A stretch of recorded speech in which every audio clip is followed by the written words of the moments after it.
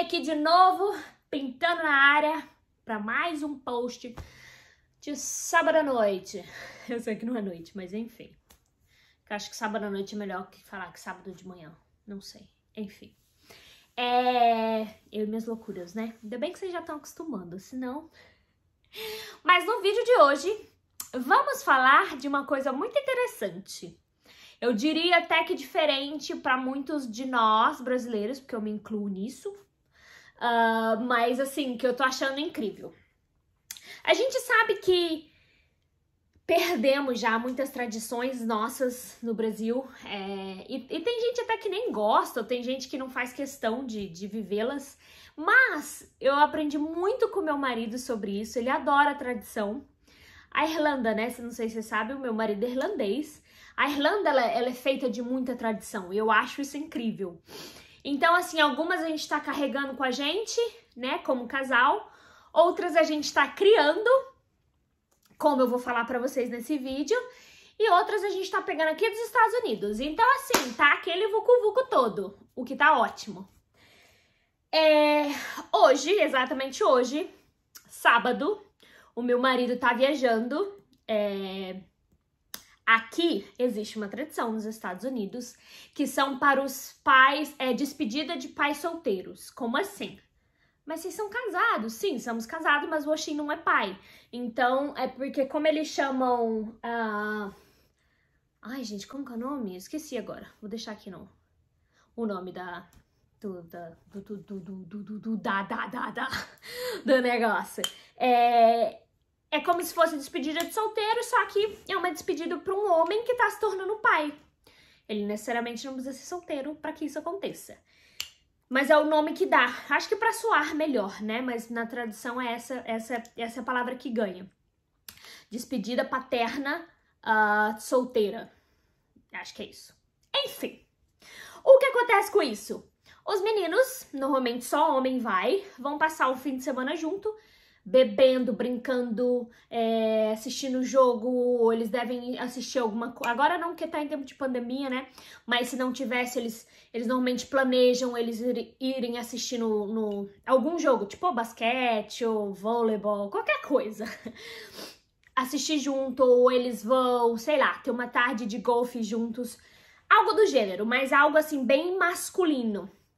E beber, na verdade, é o principal da festa. É, eu particularmente acho incrível, super apoiei o Oxinyi. O meu, meu único receio que eu estava durante a semana era mais assim, se o bebê vinha antes. Porque acontece, né?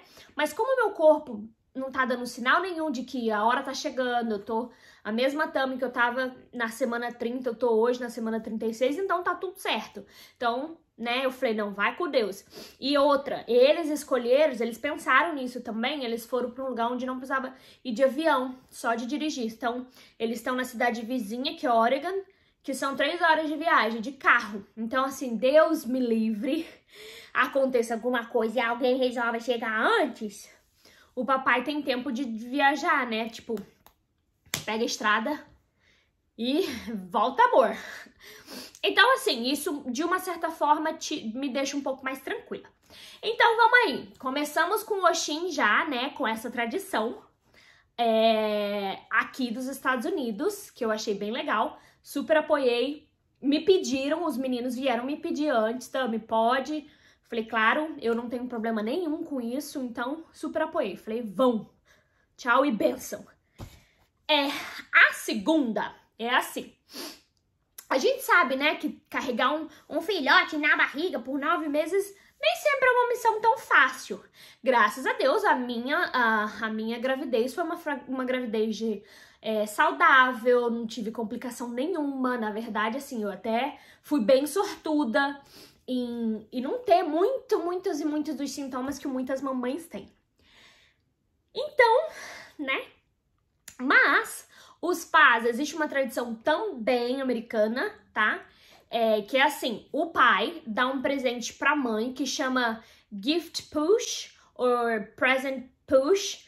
Push é empurrar, né? E o gift é um presente. É, o present também é um presente. Então, assim, é um, é um É um presente que o pai, às vezes a família junta, né, pra dar o presente, mas normalmente quem dá é o pai. Esse presente, então a mamãe escolhe um presente um pouquinho mais caro, tipo aquela bolsa que ela quer há um tempão. A galera ganha muita joia também, as mães, né, elas ganham muita joia. Mas normalmente é isso, ou joia, ou bolsa, ou carro, algo assim nesse gênero, sabe? Porque carro, gente, porque carro aqui não é caríssimo igual no Brasil. Lógico que não é, não é o preço de uma bolsa. Mas eu tô falando que normalmente as mães ganham, tá bom? Beleza. Aí eu falei pro Ashinho, falei, bom, já que vocês estão indo fazer sua viagem, nada mais justo do que eu ganhar o meu presente, né, de, de, de mamãe, é, que é o gift push. Ele falou, tá bom. Aí eu escolhi um. A gente foi comprar essa semana, antes dele viajar. Na semana que ele foi viajar, justamente por isso que eu falei nada mais justo. E sim, a Tamires escolheu, porque eu nunca tive uma, uma bolsinha da Chanel. É, eu tenho outras bolsas, mas a Chanel eu nunca tive. E sempre quis uma. Então, ai, achei ela linda. Vou abrir com vocês aqui a caixa. Já abri, é lógico, né? Mas é, quero que vocês estejam junto comigo nesse momento. Ela já foi aberta, viu, meu povo? É, a Chanel, como vocês sabem, tem essa flor aí de... Sei lá o que que simboliza, mas nem vi. Então tá, aí vem embrulhadinha. Aí vem aquela Just Bag, que é, uh, que é onde você coloca, né, a bolsa dentro depois pra guardar. Aí o cartãozinho da Chanel, que tá aqui dentro. E a bolsinha que eu sempre quis ter bem basiquinha, não é grande, não é pequena, suficiente para carregar o que a gente precisa. Então essa, esse foi o pedido, foi o presente que eu ganhei do papai Oxin. É, estou super feliz. Já quero usá-la. Amigas, me chamem para sair, que eu quero usar minha bolsa nova. E então tá. Então esse foi o presente que eu escolhi, o presente que eu ganhei. E tem um outro que esse eu adaptei essa tradição. Na Irlanda, quando você casa, alguém da família do noivo ou da sua, mas normalmente do noivo, te dá um perfume. A irmã do Oxin me deu esse perfume no dia que a gente casou. Pra simbolizar o quê? Toda vez que eu usar o perfume, eu lembrar da data do casamento. Eu usei o perfume somente na data do casamento. Então, assim, não fixou muito na minha cabeça. Então, eu uso meu perfume, de, esse daqui, às vezes, mas não me traz aquela lembrança. Por incrível que pareça, na mesma época eu comecei a usar esse shampoo e condicionador. E, gente, toda vez que eu uso esse shampoo e esse condicionador, eu lembro do casamento. Então, eu falei, eu vou fazer diferente. Calma que vocês vão entender. Eu mesma comprei um perfume também da Chanel, Tami, mas por que da Chanel? Porque eu queria um perfume que não importa, tipo, daqui 10 anos, daqui 20 anos ainda tá no mercado. Então essa esse foi, foi a minha lógica de pensamento. E Chanel, gente, é forever, né? É uma coisa eterna. Então eu comprei o Gabriel, Gabriel, que é o Gabriela, o, o shampoo, shampoo, o perfume e o, e o creme para o corpo. Vou aqui. É, eu comprei e eu falei, cara, eu vou fazer diferente. Toda vez que eu for fazer uma comprinha pro bebê ou alguma coisa assim, eu vou começar a usar. Ou até borrifar um pouco dentro do quarto dele. Ou nas minhas coisas de grávida. Pra eu lembrar. E no dia da maternidade eu vou falar que eu vou ter duola, né? Eu vou fazer questão da duola usar no quarto antes do bebê chegar, porque eu sei que o bebê não pode, né, ter essas fragrâncias, mas eu quero que esse cheiro fixe na minha mente como e, e se associe à chegada do bebê.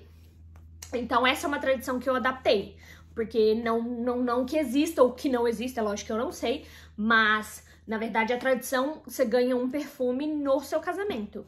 E eu tô fazendo isso para o baby. Eu quero que esse cheiro me lembre a chegada do bebê, essa fase, né? Aqui que a gente tá vivendo. Enfim. E a última tradição é a seguinte: na frente da nossa casa, quando a gente mudou pra cá, tinha uma árvorezinha, só que ela morreu.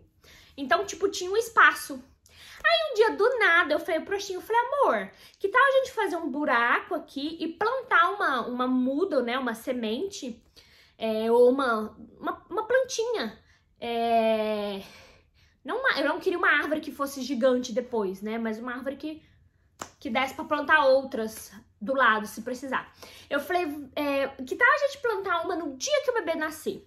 Ele falou, mas amor, o bebê vai nascer. Eu falei, é, mas normalmente nem toda mulher a gente já deixa o buraco pronto. Eu falei, mas nem toda mulher, tipo, minha bolsa, minha bolsa, como é que fala? Minha bolsa estourou, já vai ter filho. Não. Eu falei, vai que eu sou uma daquelas que fica 10 horas até ir pro hospital. Eu falei, vamos fazer o seguinte, a hora que eu começar a sentir contração, a gente vai lá e planta a árvore. Ele falou, se você der conta, eu falei, não se preocupe que eu dou conta. E aí a gente comprou uma mudinha de planta e vamos plantar no dia que o bebê nascer. Então, assim, a gente vai ver a árvore evoluir junto com o nosso filho. Então, ah, então, mas você vai morar aí nessa casa para sempre? Não, mas, né, é o momento que a gente tá vivendo, é esse o momento que a gente vai aproveitar. E de repente, se a gente um dia vender, por exemplo, a casa, sei lá, a gente aluga, vem aqui em Seattle, passa aqui na frente, né? Que gente, por isso que a gente quer plantar na frente só para ver a árvore, mas é o momento, assim, a experiência que a gente quer viver. Então, querendo ou não, temos aí a Gente, se vocês quiserem pegar para vocês essas tradições, quiserem falar assim, eu também quero, eu vou fazer, façam. A gente tem várias, não é só para chegada do bebê. Eu e o Oxin como como casal, a gente tem várias tradições, umas super engraçadas, umas muito nada a ver.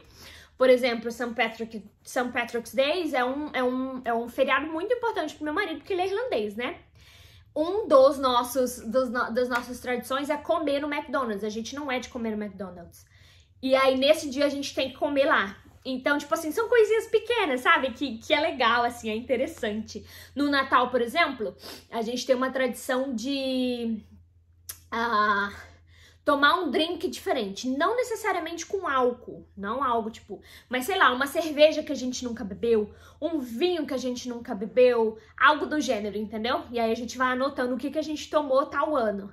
Então, assim, esse, por exemplo, foi algo que a gente criou. E assim vai, a gente vai criando as nossas tradições e a gente quer repassar ela para os nossos filhos, os nossos filhos viverem com, né, com, com, com os parceiros, parceiras dela, é, deles. Então, é isso. É, resumindo aí, para quem não lembra, as tradições são do perfume, né? Para eu associar o cheiro do perfume com esse momento do meu bebê. A bolsa, que é para representar, né? Toda essa essa transição. É, eu não vou falar difícil, que não é, mas essa, é, essa, né? Carregar o bebê por nove meses, o dia mesmo do parto, pelo menos o meu eu quero natural. Então, tipo, se não for fácil, pelo menos, né? Ganhei um presente. Então aí tem o, o, o gift push. Aí tem a da árvore que a gente vai plantar no dia que eu começar, dia que eu vou pra maternidade, né? É, que mais?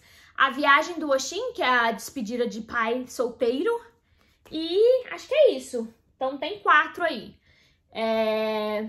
Fora os outros que a gente tem de outras datas, mas se a gente quiser colocar, acrescentar mais um, a gente acrescenta e tá tudo certo. E é isso. Eu espero que vocês tenham gostado. Eu acho que esse é um vídeo um pouco diferente de, né, do que a gente vê por aqui, as tradições uh, do bebê para, né, para a chegada do bebê. E é isso aí.